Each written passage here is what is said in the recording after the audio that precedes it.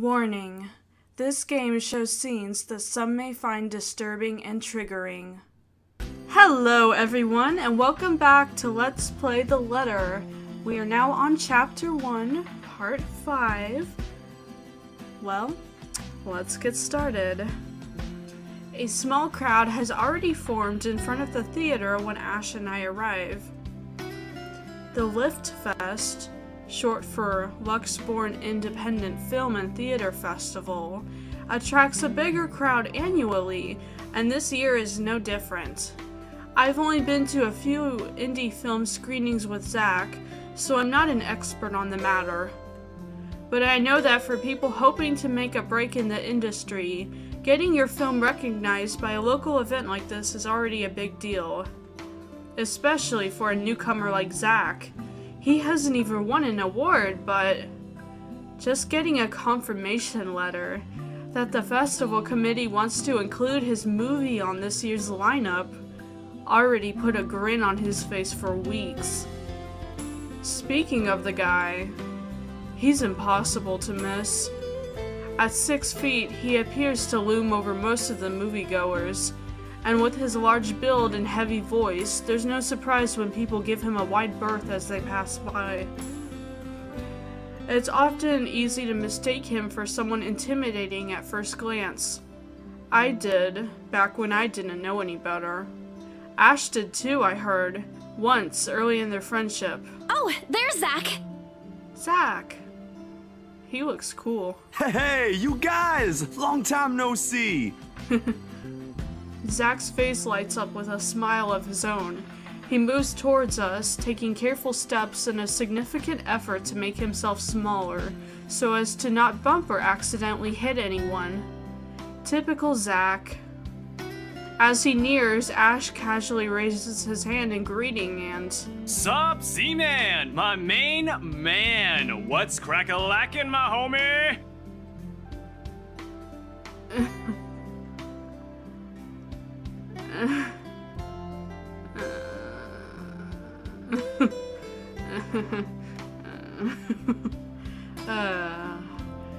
the awkwardness that decides that descends within the immediate vicinity of our small group is palpable enough. Somewhere to our left, a girl giggles and then not and then and only then do I become aware of my mouth hanging open. I'm almost amazed at how Ash can say that out loud with a straight face.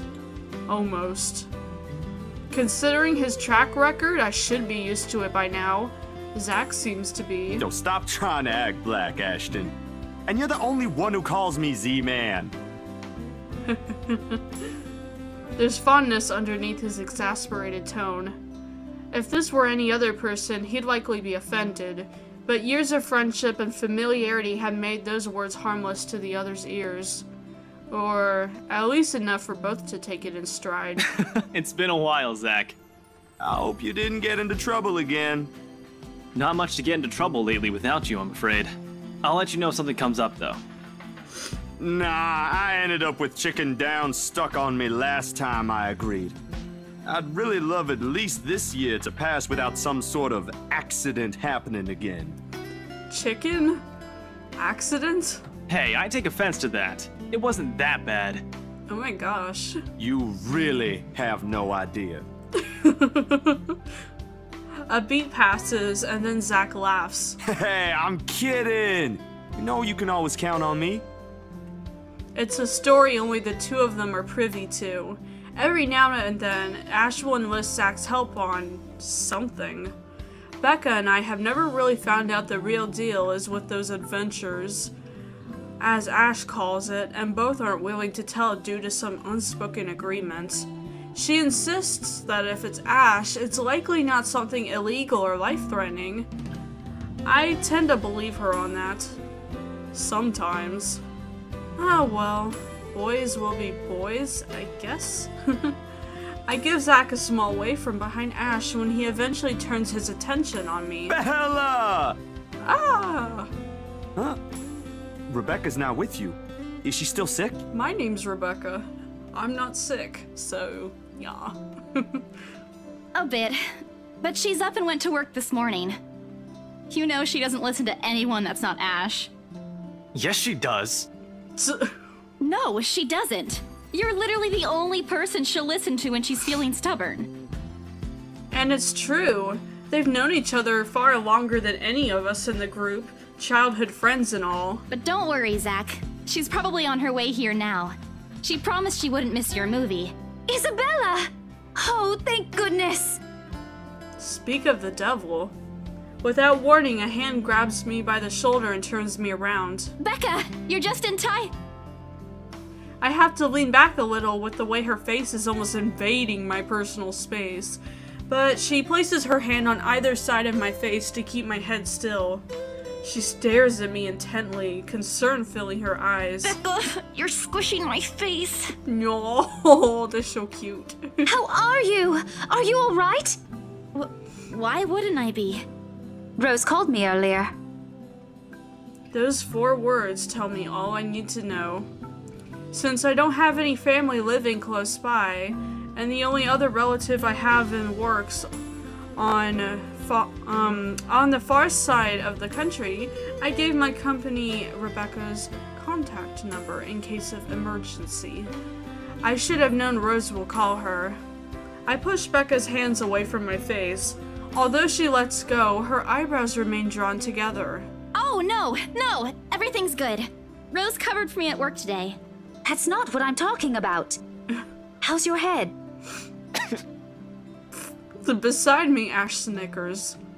I bite back the urge to elbow him in place of trying to avoid Becca's hand as she tries to reach out for the set area. I did my best to dodge her, all at once moving to hide behind Zach. Sorry for using you as a human shield, Zach. Oh, it's nothing. I just slipped off a few steps on my way down. I blacked out for a few seconds and had a minor bump, but it's just that. You blacked out? Uh, it's not something to brush off.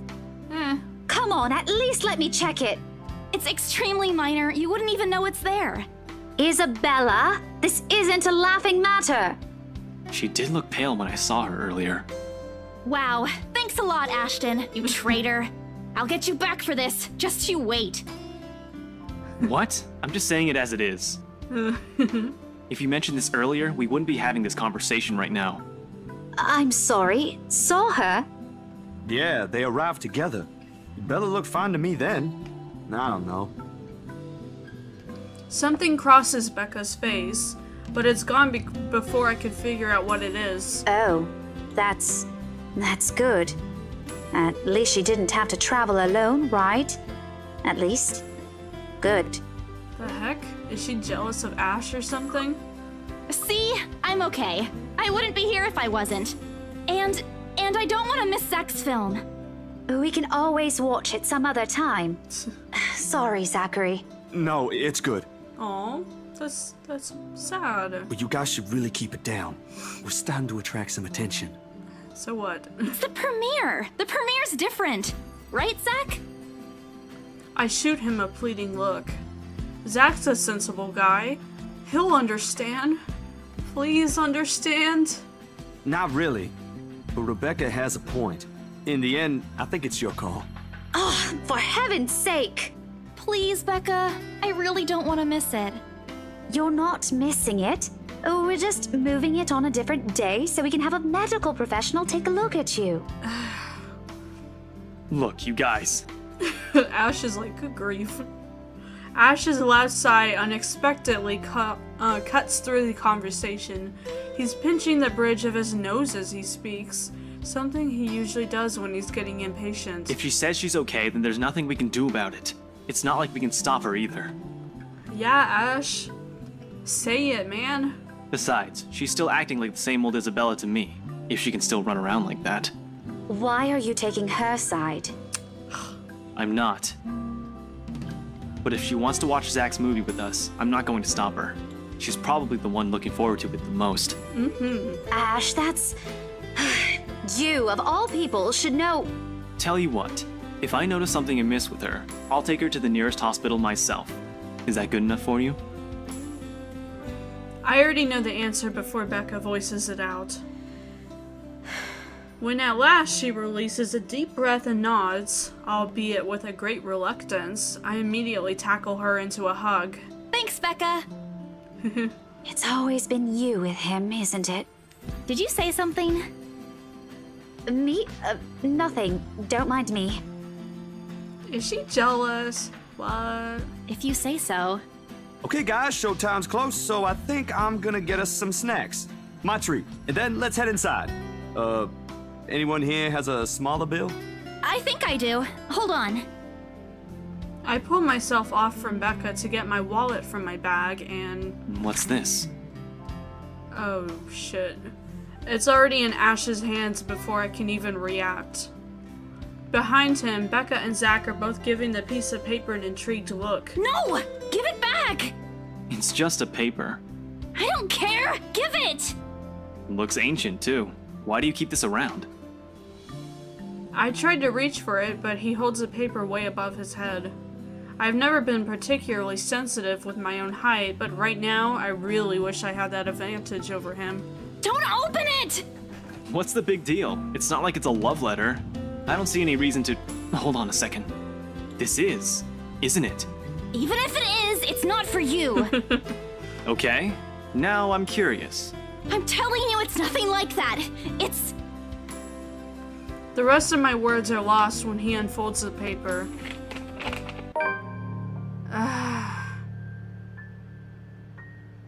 God.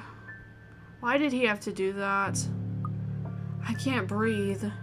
My heart feels stuck in my throat, pounding, threatening to burst. Vaguely, I note how my hands are trembling at my sides. Clasping them together doesn't do any good. They are still shaking, but I hang on to it regardless. The awful, sick weight that has taken its core in my stomach back in the house returns full force. How do I fix this? How do I fix this? How do I fix this? Someone, please. Today is turning out to be a horrible nightmare. Send this to five people or else. Well, that's mm, interesting. Um, guys, I think we should listen to Bella first. Aren't you a few days early for Halloween? Ash waves the paper in front of me, giving me a fleeting glimpse of its contents. I don't need to see. I don't want to see. The letters, the words, every stroke written in blood is already embedded in my mind. Maybe I should have just thrown it away when I had the chance. That way. That way. It's not a prank. It makes all of them stop. Even I am surprised with how steady my voice is. What did you say? This isn't a prank! I saw something! Hold on. Are we still talking about this paper? Or is it about the urban legend again? Both. I know it sounds ridiculous. You're saying this is a primitive version of a chain letter, and now that we've seen it, we're now cursed. You've got to be kidding me. See? This is why I didn't want to tell you guys. Isabella, aren't you taking this a bit too far? It's not a joke! Will you guys listen to me first? I saw something in the house earlier. It stood right in front of me. If I hadn't gotten away, that thing might have. Right. And in broad daylight, Isabella. Typically, I don't believe in this stuff, but even someone gullible would find the logic in that screwed up. There's also no way in hell that this supernatural shit you're talking about is true. But it's real! What do you think I saw? Oh my god, that's a really freaky voice. I mean, really freaky sprite. Hallucination? A delusion? Didn't you say you fell down some stairs? So maybe Rebecca's right. oh my gosh. Jeez, Ash. It happened after, when I was trying to get away. I almost got stuck in the same room with that thing. We're all in danger. I thought you were my friends. Why don't you believe me? We are, and you know that. But this thing and that thing has got nothing to do with the other. When Rose called earlier, I thought she's just exaggerating. But based on what I'm seeing right now, hmm, maybe it's better if we really postpone this for now. Don't bother. Without another ha- another word, I snatched the letter out of Ash's hand and stuffed it back in my bag with more force than necessary. I'm so tired. I got cursed, saw a ghost, probably lost a sale, got kicked out of the open house I'm supposed to be hosting. My own friends won't believe me, and all of them think I'm crazy. To top it all off, there's a dull ache at the back of my head begging for a little attention I can't afford to give right now. Honestly, there's only so much a person can take within a single day. I just want to go home, curl up in my bed, and never think about today. But before I can take a single step away from the group, Guys! Zach rarely ever raises his voice, even when there's a point he wants to drive home. And hearing him take on that tone completely throws me off. Even Ash and Becca. Whatever harsh words yet to come out from the argument immediately die on our tongues. Why don't we all calm down first? I'm sure Isabella has her reasons too. No need to be hard on her. Whoa! You go, Zach! Yes, man! Yes! And hey, ain't this supposed to be a happy get together? Hell yeah! Woohoo! We haven't seen each other for months. I- I'd really love to know what y'all have been up to. I only ever get to talk to Bella over chat. Please. He. he has a point. Ash, for all his attempts to look cool and distant, has also been looking forward to this. He even took the time to call this morning for a reminder. He never does that. Becca, too. I'm pretty sure that's another reason why she got out of bed today. Yet, despite Zach's attempts to lighten things up, or Ash's and Becca's acquiescing gestures, the tightness in my chest remains. I should have just kept it to myself, or at least went with the idea that it's a prank. If I did, things might not have turned out the way they did. No sour mood, no bad vibes. Careless. So careless. Maybe leaving is the better decision for all of us? Huh. I don't know. What is the better decision? I feel like we should stay, honestly.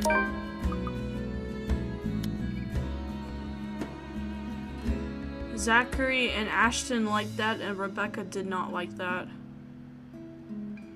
Whatever, Rebecca. Sorry. I can't always please you. Whatever. I mean, I honestly don't give a shit. Whatever, Rebecca. I mean, she's not a bad person. She's just a bit. She's a bit of a nag, to say the least. Any other day, I'll excuse myself and go straight home. But this is something special to Zach. Something he worked so hard to bring to life. I should know better. I might be having a bad day, but being with the few people I care about far outweighs the idea of spending the rest of the day throwing a tantrum alone in my room. And what if the thing in the attic follows me home? I don't want to be left with my thoughts either. I can still see it whenever I close my eyes. And maybe, if I stay, let our heads cool down first before telling them what happened, they'll listen to me? There's nothing you can't solve with a calm head after all. One step at a time, Isabella. That's what Mama used to tell me. Besides, I don't have the heart to ditch Zach. A smile is back on my face when I look back at them. If we keep arguing here, we're going to miss the first few minutes. All right, that's the Isabella I know. Mm-hmm. Oh, good. I thought for sure you were going to cry. Oh, Ash! this time, I really do send an elbow straight to his stomach. Stupid Ash. Ash hole. Being vertically challenged has its perks too. What was that for? Stop calling me a crybaby! I'm not one. Yeah, you're really convincing right now, Isabella. Oh, don't cry. I love how it became Ash hole again. it went from Ash to Ash hole again. This is too great. Stop it! Okay, scaredy cat then. That too. If you repeat that, I swear I'll. Let's just go. Without another word, Becca goes inside. She doesn't even stop to wait for us when I call after her. Whatever. Ash and I exchange looks at that, the same question likely swimming inside our minds. Did something happen at school after I left? Is she having a bad day too? I'll try asking her about it later, I guess. So, uh, you guys go catch up with her. I'll go get us the food I promised. But you'll miss it. Didn't you say watching a movie without food ain't fun? And it ain't like I haven't seen it. I made it, remember? I'll be in there soon. One friendly tap on my shoulder and then he's gone. A few moviegoers are still milling about. Some are waiting in line for tickets, but otherwise, most of the crowd is already inside. There's nothing much for us to do here now. Not a word of protest comes from me when Ash gestures for the two of us to head inside. And then? Are you sure it wasn't one of the cleaning crews? Absolutely sure. Somehow, halfway through the movie, the conversation steered towards what happened in the mansion. To be fair, Zach's the one who brought it up again. In his own movie premiere.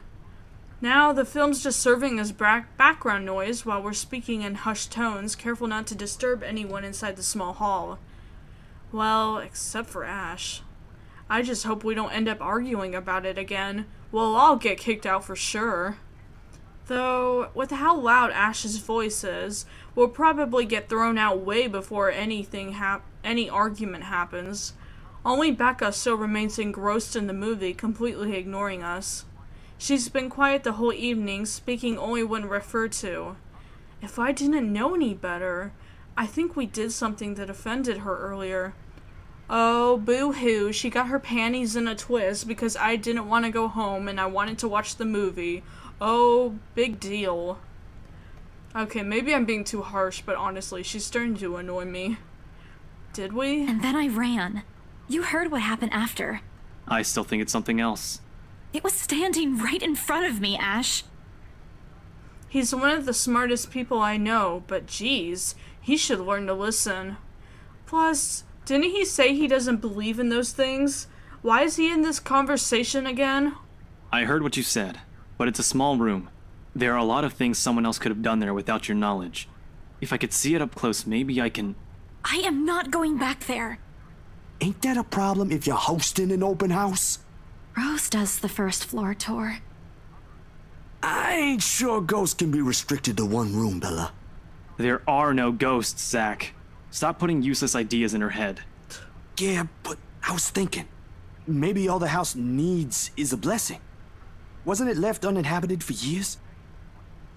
Oh, the house did change hands over the years, from one distant relative of the Ermengardes to another. None of them bothered to live in it, though, and it remained that way up until its current owners decided to sell it. Oh, nope. Why didn't I think of that? I didn't peg you as the religious type, Zach. Nothing like that, Ash. Who knows, though? It might bring something positive to the place. That's not a bad idea. I just don't know where I could find someone. You're not seriously considering his suggestion, are you? Do you have a better idea? I know where. I could contact him for you if you want. You'd do that? Or we can find you a psychologist instead. There are very few times in my life when I wish my glowers could kill. This is one of those. Ash, that is not a very appropriate thing to say right now. Thanks, Zach. No, wait, that's not what I meant. Wait, what the heck did he say that was so weird? Or we can find you a psychologist instead.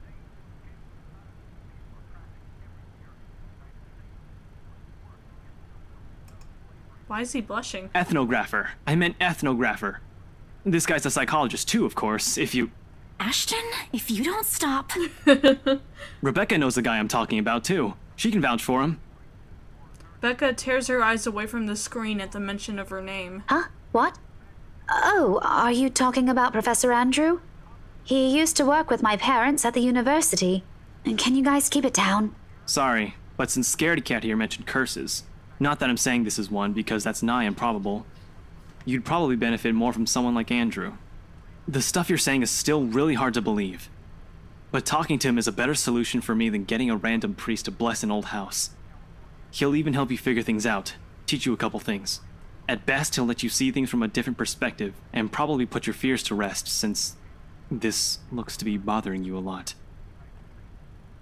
Ash might be right too.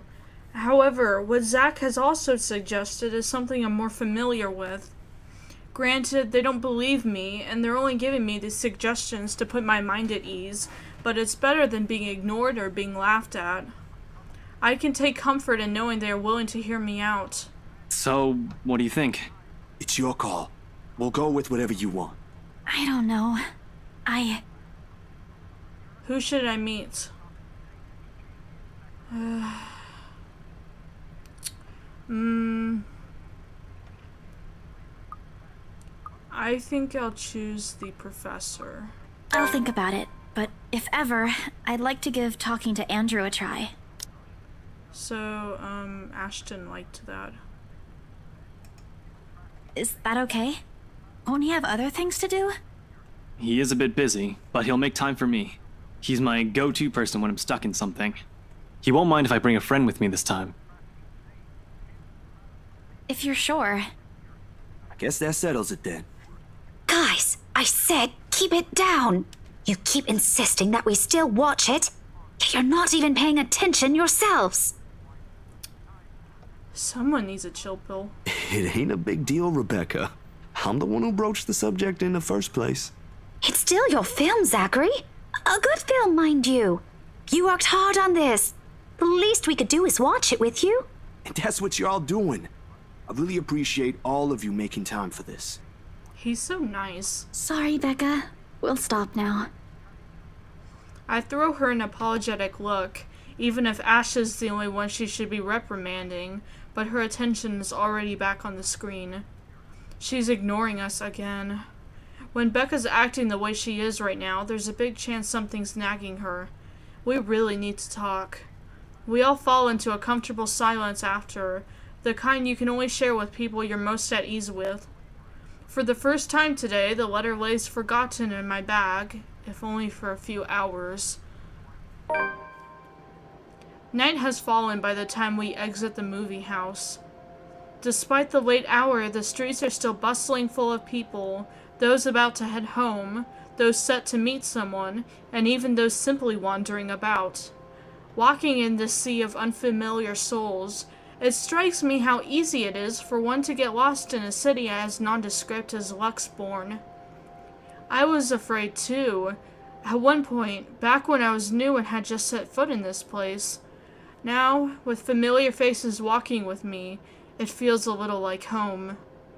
Zach and Ash bid us goodbye shortly before Becca and I crossed to the other side of the street. The former claiming he's got a freelance job to take care of before the day ends. And Ash? Ugh, who knows? He never tells.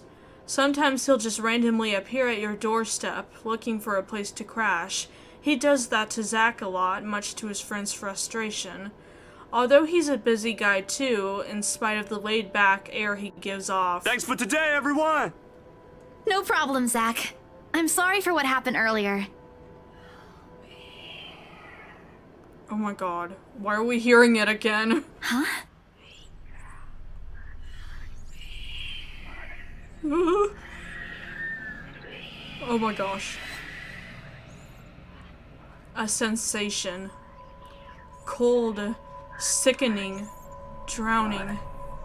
My my chest is tightening. Breathing becomes labored. I can taste blood in my mouth. The edges of my vision blurs.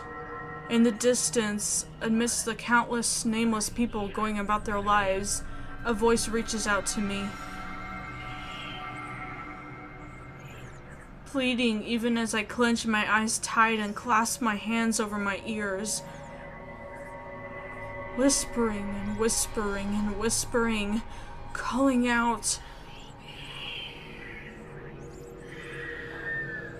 No, not me. Somebody. Isabella? Earth to Isabella? At her voice, The whole world suddenly snaps into place. The murmur's gone.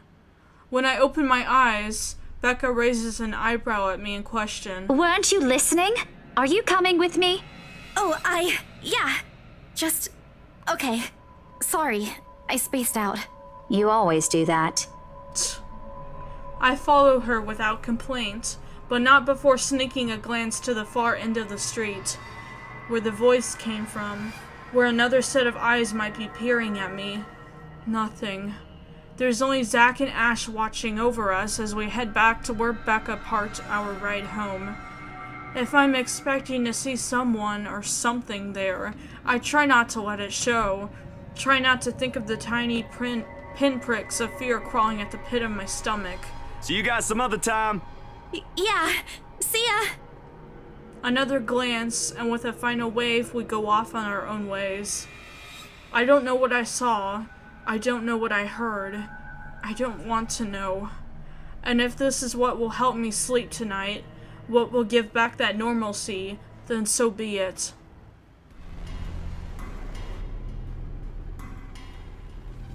Alright everyone, I think I'm going to go ahead and stop there. Thank you guys so much for watching. Please subscribe to my channel and like this video. I'll see you guys in the next part. Bye bye!